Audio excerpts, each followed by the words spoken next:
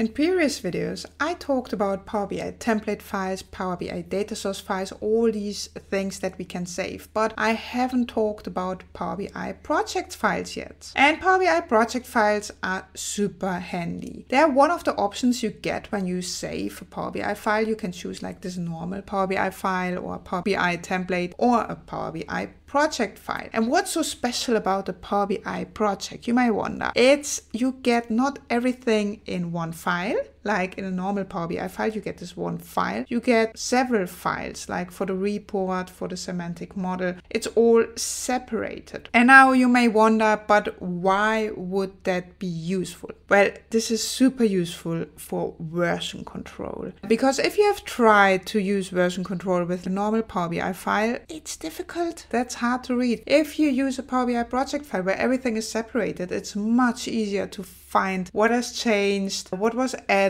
what was removed, all these kind of things. So working together with others, collaboration with others is so much easier working with a Power BI project. So let's start with like the beginning. We can save a Power BI file, just our standard Power BI report that we just created as a Power BI project file. It's one of the options when you click on Save File. And once you do that, you will see that instead of this one PBIX file, you get several files. You get a folder for the report, you get a folder for the semantic model. There is the Power BI project file itself, and there's a git ignore file in there. And everything is stored separately. Now you maybe wonder, I say you see this option when you save Power BI file. Maybe you don't see it.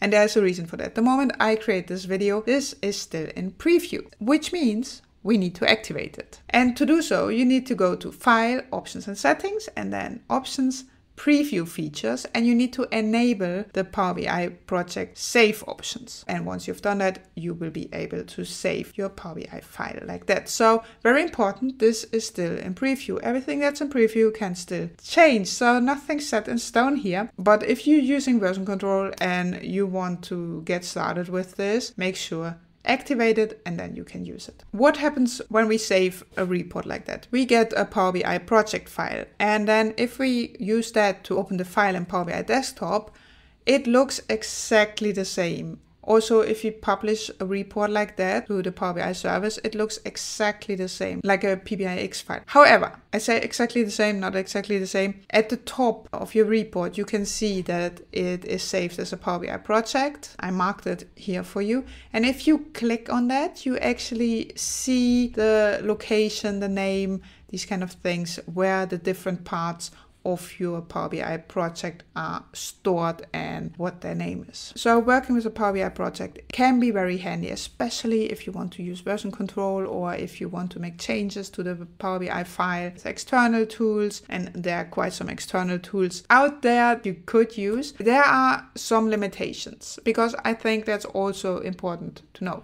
If you make changes to a Power BI project file, you need to restart Power BI desktop before you see the changes. And you can't directly save a Power BI project file to SharePoint or OneDrive. You will get synchronization errors there. So if you have ever wondered what's the difference between a normal Power BI file and a Power BI project file, well, it's basically that you get your file split in these different folders that you can really approach each part of your file and you can use version control and it works pretty well. I hope this helps to get you a basic understanding about what are Power BI projects, how are they different from a normal Power BI file, and how you can use it. So I would say give it a try. Save one of your files as a Power BI project file. It will not overwrite your old file. You will get a separate file so you can just try it and have a look how that looks like and how that works for you with version control.